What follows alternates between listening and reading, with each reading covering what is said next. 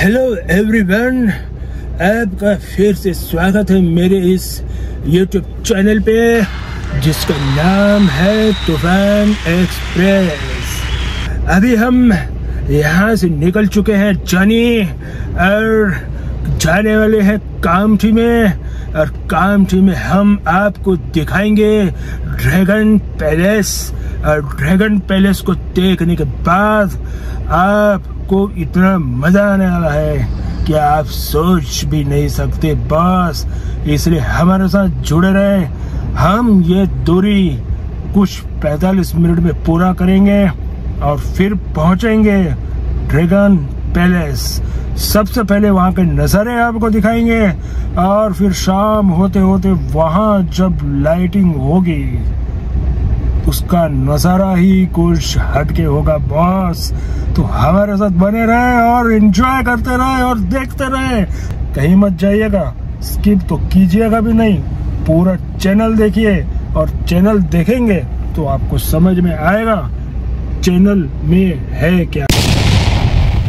आधी अधूरी बात अपने लिए कभी घातक भी हो सकती है। तो पूरा देखे और एंजॉय कीजिए।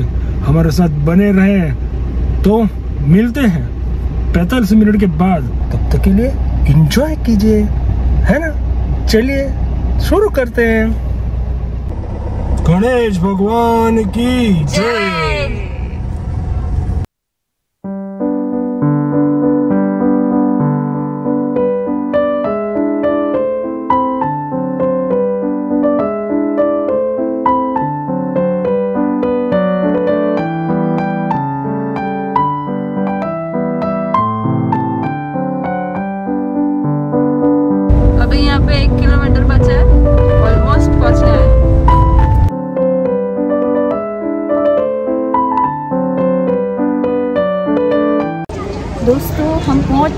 ड्रैगन पैलेस टेंपल में। और ये जो पैलेस है ना दोस्तों, ये इंडो जापानीज फ्रेंडशिप का एक सिंबल है। और इसीलिए आप देख सकते हैं कि ये जो एंट्री का जो रूट है ना, यहाँ पूरे में पंचशील फ्लैग लगे हुए हैं। और दोस्तों, रोज़मर्रा की जो हमारी शोर से भरी हुई ज़िंदगी रहती है, उसमें अगर आप एक पीसफुल एटमॉस्फेयर चाहते हैं तो यहाँ का विज़िट ज़रूर कीजिएगा।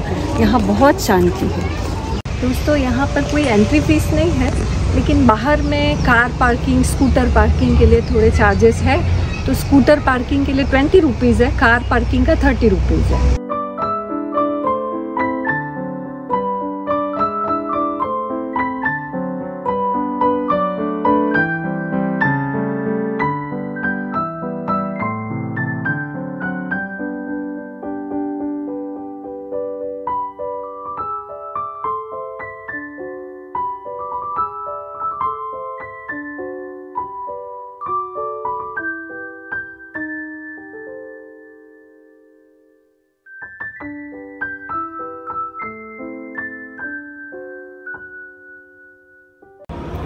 दोस्तों, ये पैलेस बना था 1999 में और ये पूरा पैलेस जापानीज पद्धति से बनाया गया है। और इसे फंड किया था जापान की ओगावा सोसाइटी ने, जो कि एक चैरिटेबल ट्रस्ट है।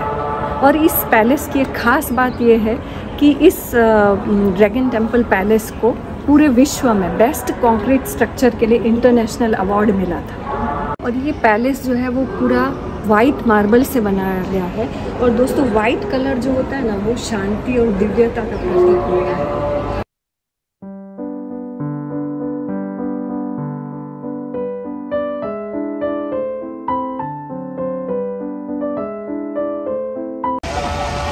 दोस्तों, बुद्ध को विष्णु का नौवा अवतार माना गया है। यानी हमारे दस अवतारों में नौवा स्थान बुद्ध को प्राप्त है। और बुद्ध ने दोस्तों, इतना महान कार्य किया है ना कि उसके लिए उनके हमारा सर जो है वो आदर सम्मान से नतमस्तक हो जाता है। उस समय में परिस्थिति क्या थी कि उस समय वेद और उपनिषद के जो विचार थे वो संस्कृत भाषा में थे। और इसीलिए जो सामान्य लोग थे, उन तक नीति के विचार कैसे पहुँचेंगे?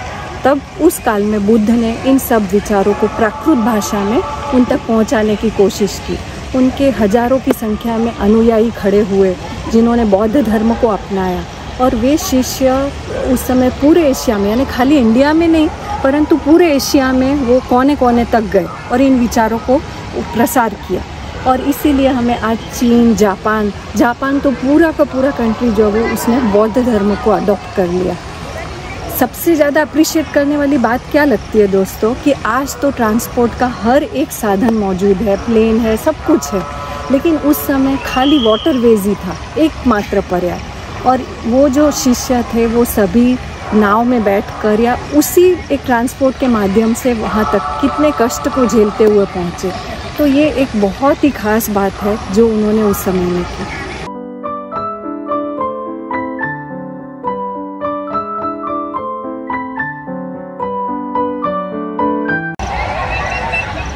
दोस्तों, एक जो आउटर वर्ल्ड है और एक हमारा इनर वर्ल्ड है। इन दोनों के बीच में हमारी लाइफ जो है ना वो बैलेंस होनी चाहिए। यानी हम आउटर वर्ल्ड की यात्रा तो करते हैं, लेकिन उसके साथ में इनर वर्ल्ड में भी हमें झाँक के देखना चाहिए। कभी शांति से अकेले में बैठ के हमें अंदर की जो परम शांति है, उसका अनुभव करना चाहिए। और महात्मा बुद्ध ने वही रास्ता दिखाया कि बाहर का सब हमें करना ही है, लेकिन एकांत में बैठ के उस परम शांति को अनुभव करना है, अपने आप को जानना है।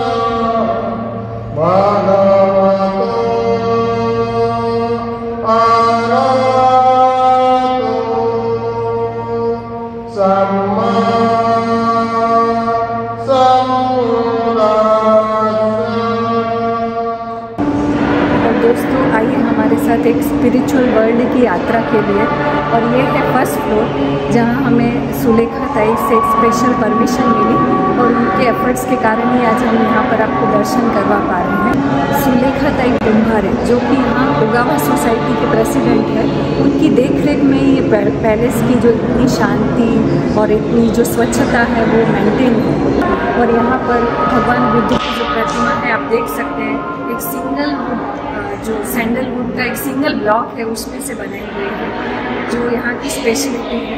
और हम लोगों ने यहाँ पर प्रेयर भी अटेंड की, जिसे सुन के और अटेंड करके बहुत ही अच्छा अनुभव हुआ। प्लीज़ प्लीज़ आप ज़रूर विज़िट कीजिए और यहाँ का जो एक पीस पीसफुल एटमोसफियर है, उसको महसूस कीजिए। और यहाँ के जो वाइब्रेशंस है ना, वो उसमें इतनी ज़्यादा पॉजिटिविटी है ना, वो आप आके ही फील कर सकते हैं। और आपको मेरे चेहरे पर भी वो दिख रही है खुशी जो यहाँ आके मुझे महसूस हुई।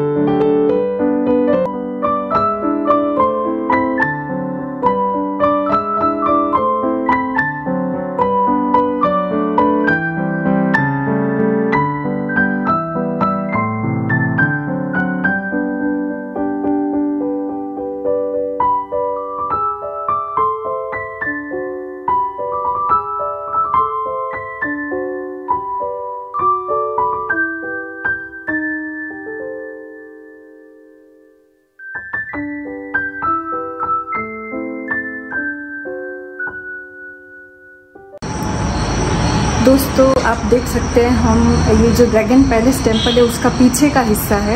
वहाँ पर खड़े हैं और उसके बिल्कुल अपोजिट में आपको दिखाई दे रहा होगा। तो ये विपशना का सेंटर बना हुआ है और जहाँ पर विपशना से जुड़े हुए जो लोग हैं वे सभी आते हैं और यहाँ पर हर महीने शिविर होती रहती है। उससे अटेंड करते हैं और एक शांति का जो एक फील है वो एक सा, अपने साथ में लेके जाते हैं। और यहाँ से थोड़ी ही दूरी पर बाबा साहेब अंबेडकर का स्मारक बना हुआ है।